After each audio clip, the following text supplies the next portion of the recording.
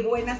Soy su amiga Angie Newman. Me siento agradecida, complacida, motivada, inspirada y sobre todo aquí contigo para hacer que las cosas sucedan. ¿Por qué bien y de buenas? Mayormente hemos escuchado durante muchos años de nuestra vida tienes que estar bien, tienes que estar de buenas.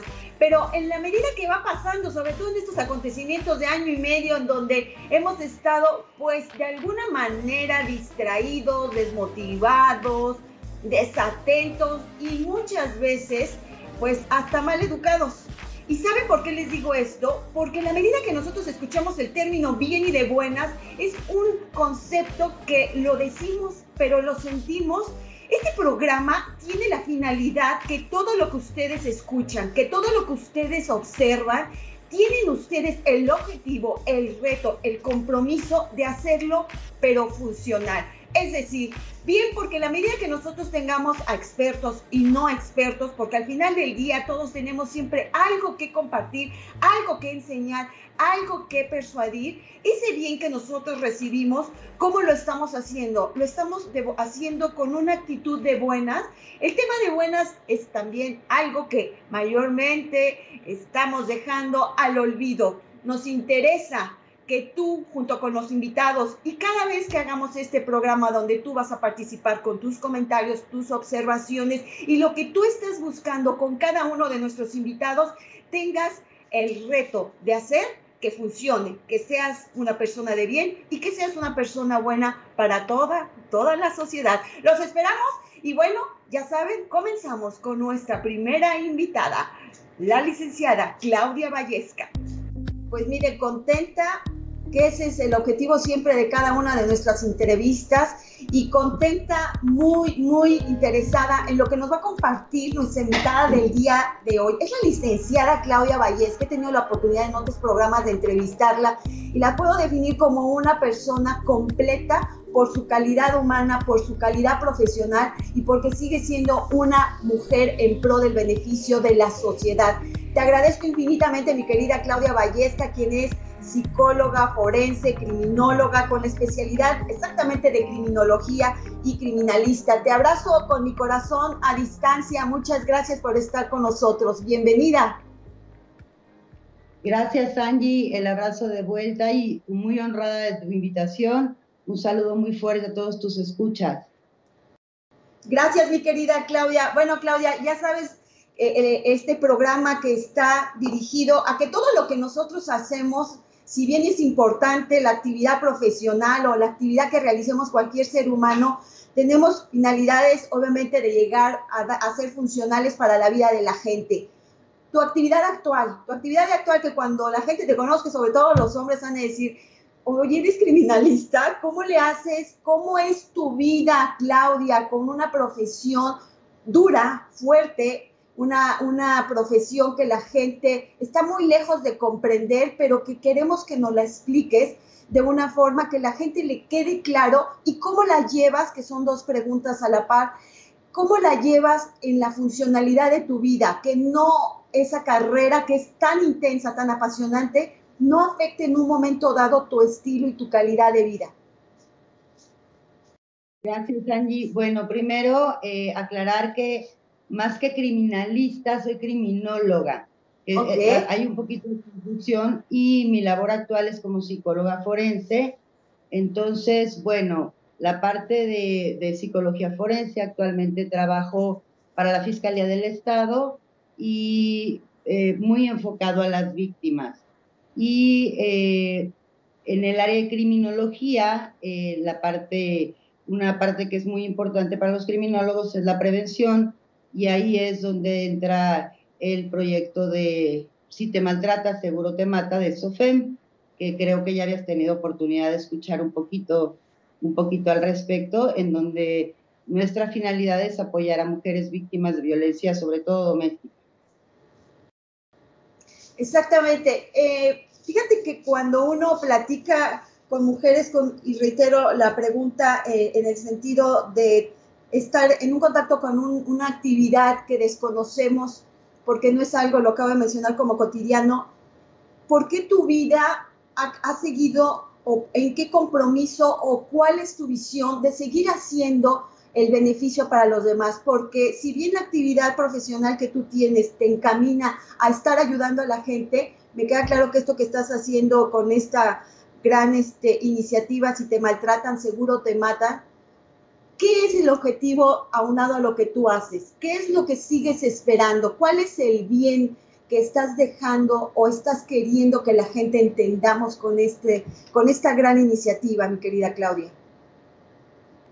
Gracias, Angie. Bueno, eh, la finalidad es que las mujeres adquieran herramientas que les permitan salir de este, eh, de este hoyo negro en el que se encuentran. Muchas veces cuando no somos mujeres violentadas, hemos tenido la fortuna de venir de una familia relativamente sana, eh, no podemos entender o es muy difícil comprender por qué estas mujeres siguen ahí, por qué se quedan. Entonces, eh, este proyecto está diseñado para que en un, eh, en un tiempo, en una duración de seis meses, las mujeres reciban apoyo psicológico, asesoría jurídica y herramientas que les permitan eh, sanar y hacer algo una vez que, que termine el proyecto. ¿Por qué? Porque sí creo que así como las mujeres podemos ser chismosas y envidiosas y demás, también somos, somos muy buenas aliadas y nos gusta vernos bien y nos gusta apoyar a otras mujeres.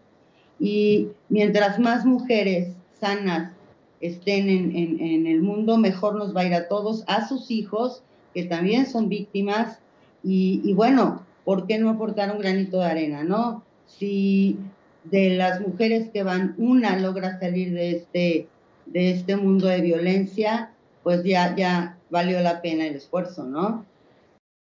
Definitivamente. Eh, dentro de las primeras preguntas que yo te hice, yo te hacía esta que para nosotros es muy importante en este breve espacio, porque pues sabemos que ahora los programas deben de ser rápidos y por supuesto que ustedes se queden con esto. Para mí es muy importante en este programa, mi querida Claudia, es cómo estás haciendo de forma breve, te lo voy a agradecer, nos digas cómo estás llevando tu vida. Sé que eres madre, sé que eres abuelita, eres una mujer encantadora, te conozco personalmente. ¿Cómo es tu vida? ¿Cómo haces que todo este compromiso social, y lo reitero por tercera o cuarta vez, que es fuerte, que es estar viendo la violencia, pero también la solución a la misma, ¿cómo es tu vida? ¿Cómo te relajas, mi querida Claudia?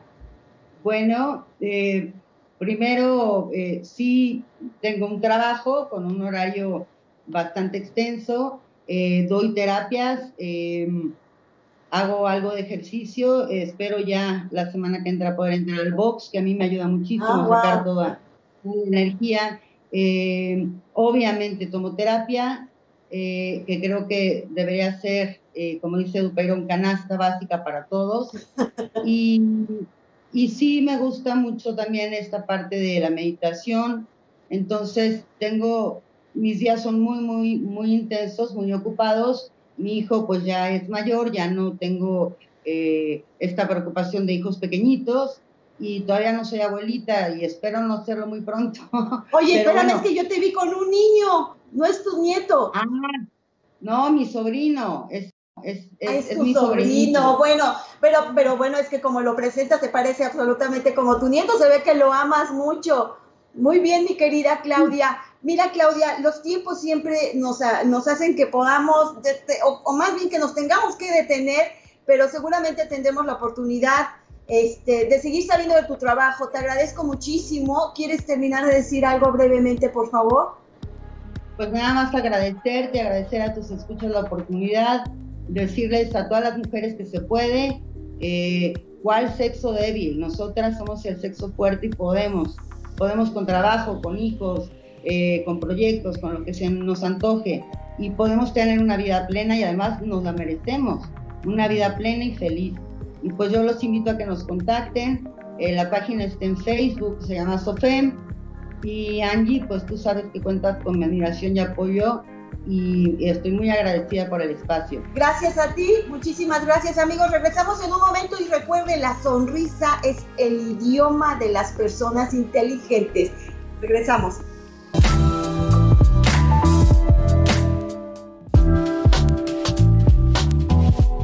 continuamos en su programa Bien y de Buenas. Soy su amiga Angie Newman y terminamos el segmento pasado una frase y quiero continuar con ella porque va muy ad hoc para nuestra siguiente invitada, que dice la sonrisa es el idioma de las personas inteligentes.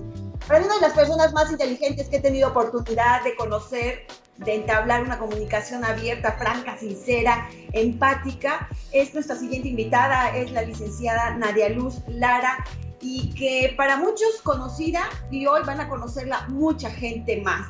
Ella es licenciada en Derecho, ha sido la única mujer candidata a la gobernatura aquí en el estado de Morelos y ha sido una candidata muy reconocida, por eso hablo de la sonrisa que estábamos platicando previo a esta, a esta entrevista, una mujer a la candidatura a la Diputación Federal por el primer distrito del estado de Morelos.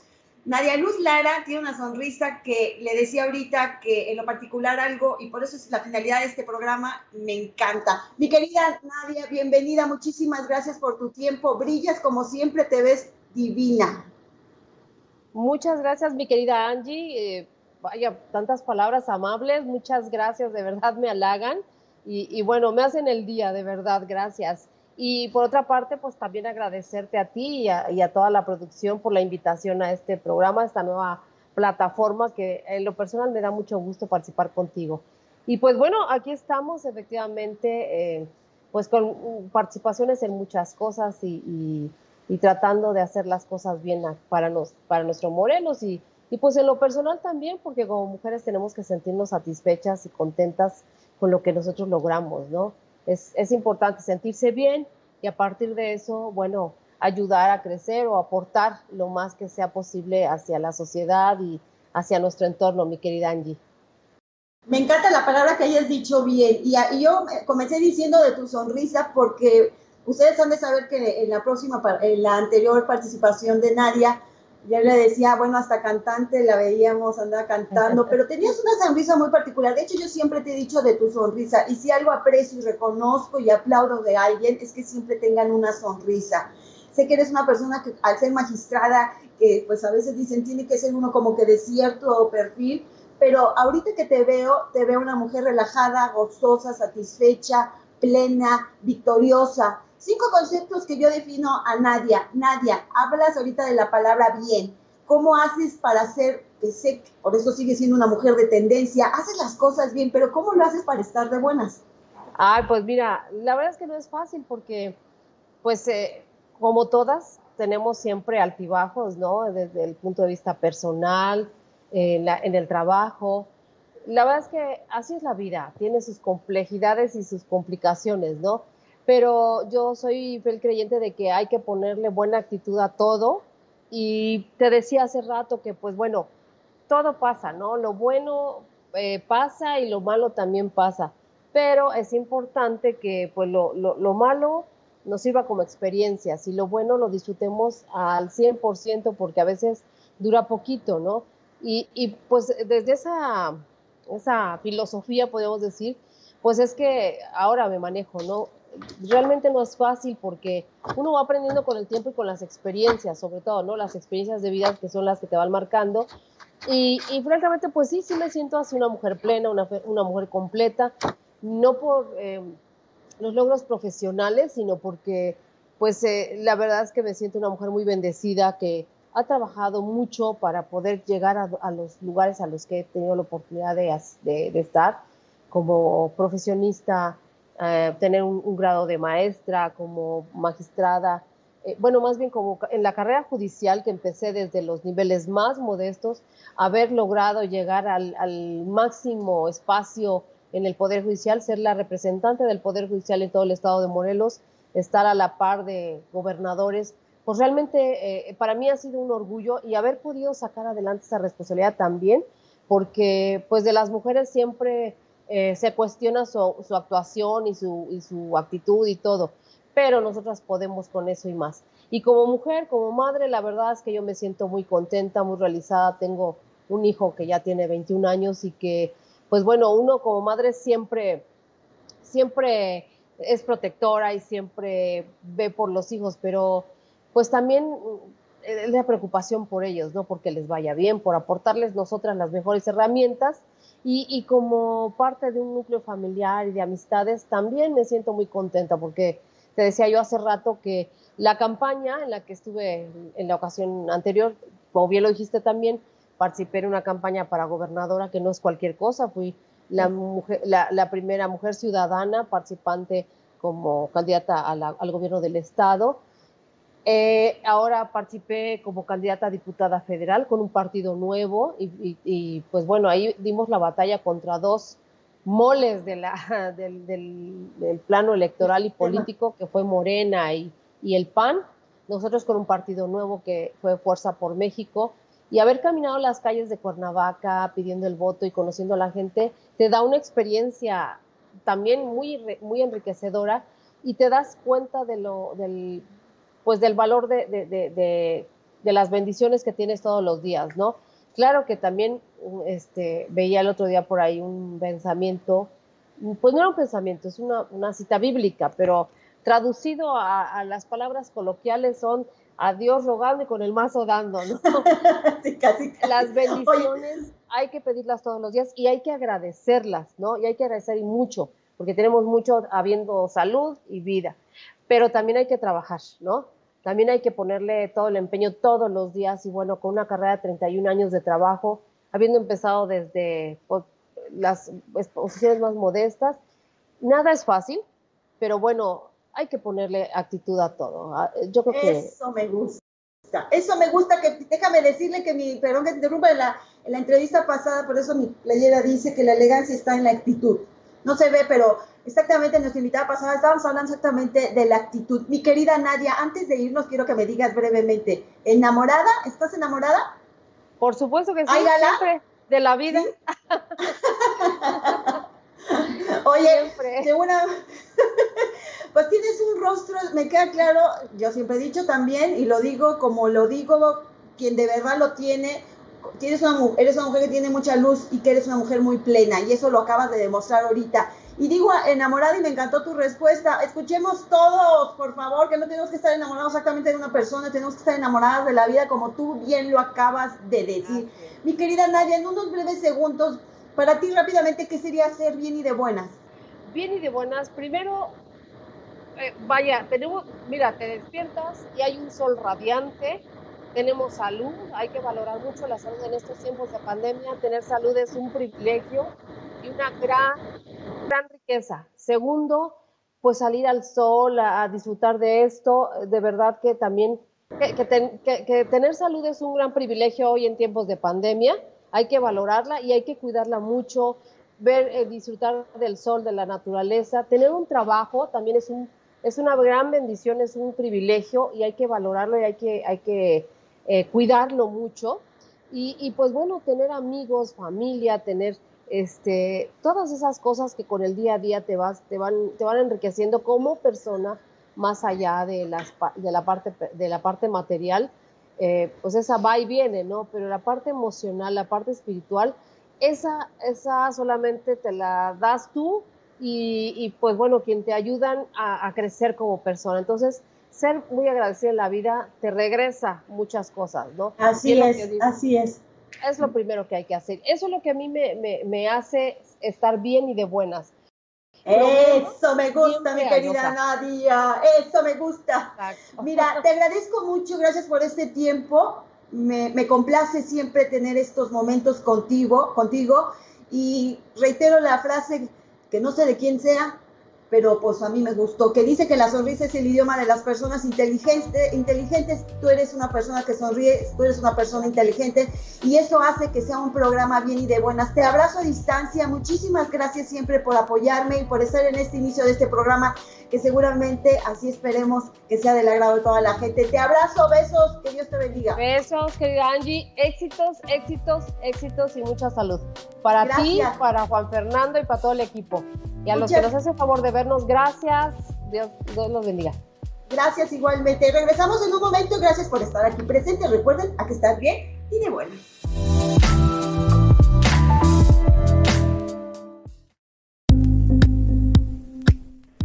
Y continuamos aquí en su programa Bien y de Buenas. Les recuerdo mi nombre por aquello que de repente se les puede olvidar. Soy Angie Newman Y bien, miren, aquí andamos en el programa con pura mujer y miren que así como que fue planeado, ¿no? Pero después nos dimos cuenta que nos pudo ir, no nos pudo ir más bien mejor con estas tres excelentes invitadas. Y digo tres porque terminamos con nuestra querida amiga, porque para mí son amigas en el momento que siempre han estado participando en todos mis proyectos y en este una vez más que nos tienen más que contentos a mi querida Norma, la licenciada Norma Martel. Bienvenida, mi querida Norma, guapísima. Ay, muchísimas gracias, Angie. Muchas gracias por tu invitación. Yo también, ya sabes, encantada siempre de participar porque admiro tu dinamismo y la verdad es que me, siento muy honrada de estar aquí con ustedes. Honrados nos sentimos nosotros porque esto definitivamente nos pone bien y de buenas. Y fíjense que es bien importante a todas las personas que nos hacen favor de ver y lo dijimos al principio del programa, que todo lo que nuestras invitadas, nuestros invitados estén aquí, pues obviamente nos van a platicar de su experiencia profesional, pero también nos van a decir brevemente que lo que ellos hacen al final del día es un objetivo para cada uno de nosotros, emplearlo para el bien.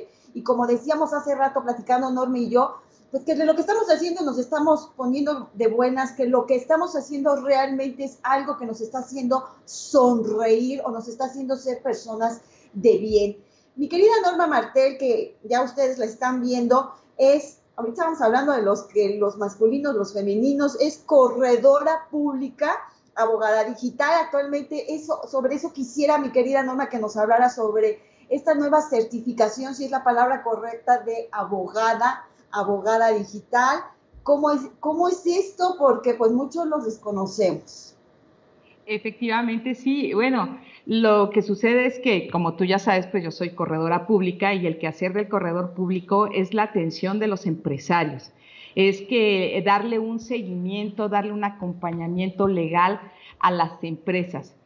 Y lógicamente, con toda esta vorágine de cambios que ha tenido la legislación, estamos en una era totalmente digital las tecnologías de la información eh, nos están nos, nos, superan y debemos por eso superarnos para poder, eh, en mi caso, darle a, a mis clientes una asesoría integral respecto de esto. Y te voy a ser bien honesta, la realidad es que esta, esta certificación, pues para mí no fue nada fácil, ¿eh? no fue nada fácil porque pues ya te empiezan a hablar de términos que eh, difíciles, ¿no? Que tú, tú en, tu, en tu actuar de abogado, pues no conoces fácilmente, te hablan del blockchain, empiezan a hablar de la protección de la, información, el aviso de, la, de privacidad, y te empiezan a hablar de, de, la criptomoneda, de las plataformas, del Ethereum, todo, todo ese tipo de cosas que no estás avesada, porque obviamente no sabes, incluso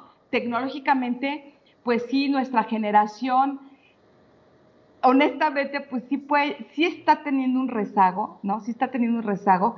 Y entonces dije, no, pues no, no puedo, no puedo eh, hacerme como que no pasa nada, cuando en realidad ya estamos inmersos en, totalmente en esa era digital, ¿no? Entonces, por eso decidí hacer esta certificación en la Academia eh, mexicana de Derecho Informático, pues que es la más importante en el país en este, en este tipo de cuestiones.